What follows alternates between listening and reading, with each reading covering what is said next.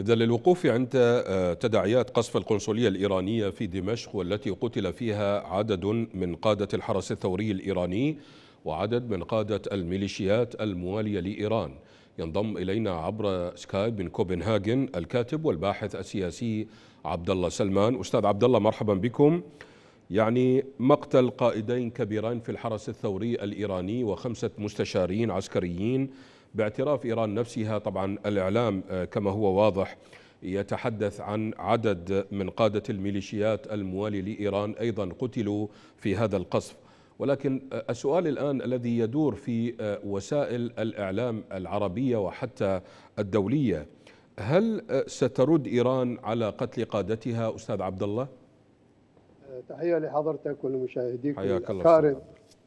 الحقيقة يعني هذا الحدث والهجوم جعل من من إيران في موقف آه، صعب جدا آه، ومركب آه، الصعوبة. لأنه هذا يعني في كل المعايير الدبلوماسية والدولية إنه هذا يعني اعتداء صارخ على أراضي إيرانية كون الهجوم على قنصلية إيرانية وهذه تعتبر سيادة إيرانية. فبالتالي الهجوم مباشر على السيادة الإيرانية. هذا مما جعل وضع إيران في حالة من الحرج الكبير. فإذا ما فإذا أرادت أن ترد فبأي صيغة تريد أن ترد؟ هل تريد الرد المباشر؟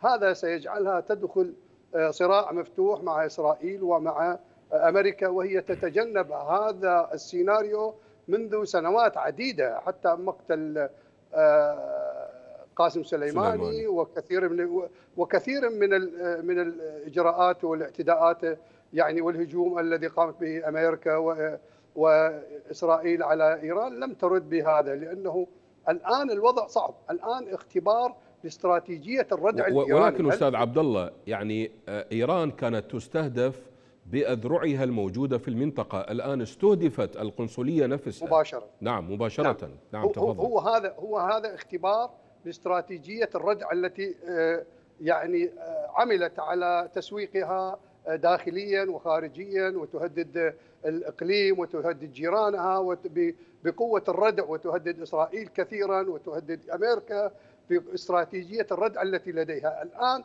هذا هو الاختبار الحقيقي وهذا الموقف الصعب لديها. فهل تريد أن ترد عن طريق أذرعها؟ وهذا التعبير عن فشل وضعف لديها ويفقد الثقة بها بالمنطقة ويمكن أن تكون وإذا ردت بهذه الطريقة ستكون عرضة لهجومات أخرى قريبة أو آه، في المدى المنظور داخل الداخل الإيراني بشكل مباشر لأنها لم ترد إلا عبر آه، عبر أذرعها. وإذا ردت فستدخل حرب مفتوحة مع إسرائيل وأمريكا. وهذا سيفقد الكثير مما عملت عليه منذ منذ منذ مجيء خميني إلى السلطة نعم. خصوصا مكاسبها ما بعد احتلال العراق 20 سنة ووجودها في الإقليم. هذا كله سيتعرض للخطر فهي الآن تناور بهذا المجال. ولما ذهبت إلى الأمم المتحدة تريد أن تكسب جانب دبلوماسي دولي إليها وتحاول أن تضغط على أمريكا لتنتزع بعض من بعض آه، آه، المصالح لها مقابل نعم. هذا العدوان أو هذا الهجوم الإسرائيلي عليه وبالتالي هي في موقف يعني صعب جدا ما بين الرد وعدم الرد وبالتالي آه، آه، على أغلب الظن إنها لا ترد لأنها في استراتيجيتها ليس هنالك المواجهة وممكن إسرائيل. وممكن أستاذ عبد الله ممكن أن ترد عبر اذرعها المتواجدة في المنطقة أستاذ عبد الله هذا يعتبر فشل هذا يعتبر ها. فشل لسياستها في الدفاع عن أمنها وعن كرامة مواطنيها لأن هذه الضربة ضربة ضد السيادة الإيرانية يعني نعم. ليست ضربة مثل قاسم سليماني أو قائد آخر كان أو حتى لهذا الاجتماع لو كان خارج خارج دمشق أو خارج البنية آه، البناء الدبلوماسي كان يكون الرد حتى عبر عبر المبرر يعني عبر الأجنحة طيب أستاذ أستاذ عبد الله تفضل كيف تتوقع أن يكون الرد عبر الأذرع الإيرانية؟ يعني كيف كيف يكون الرد؟ كيف تتوقعه؟ يعني هو الرد يكون فقط عن طريق حزب الله. يعني هذا الرد الوحيد المباشر الذي يكون على على إسرائيل. لأنه كل الأذرع الباقية بعيدة عن إسرائيل. فبالتالي الرد الوحيد هو يكون. ولكن اليوم أكد بلينكن إنه هذه الجبهة أيضا وإيران وحزب الله وأمريكا وإسرائيل متفقين على عدم تصعيدها أكثر من هذه التفاهمات اللي موجودة الآن مثل ضربة يعني كرة المنضدة أضرب وأنت تضرب نعم نعم. وهذا التفاهمات اللي موجودة مسبقا أستاذ عبد الله نعم تفضل تفضل أكمل فبالتالي لا يوجد يعني هناك يعني يعني إمكانية للرد أكثر من من حزب الله في هذه المنطقة أو تصعيد من من قبل يعني الحوثيين في اليمن تصعيد نعم. أكثر لكن هذا يبقى ينقص من من هيبة إيران بشكل عام بالمنطقة وأيضا ستواجه سؤال مهم.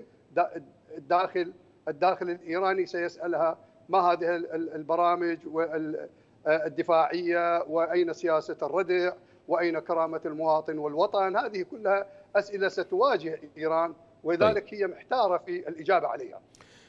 أستاذ عبد الله هناك مخاوف كردية من أن توجه إلى مدينة أربيل ضربة انتقامية من قبل إيران حيث أن هناك من وصف أن كردستان العراق أصبحت صيدا سهلا لإيران. ما هو موقف الحكومة إذا ما تجرأت إيران وضربت مرة أخرى ومرات مدينة أربيل الكردستانية؟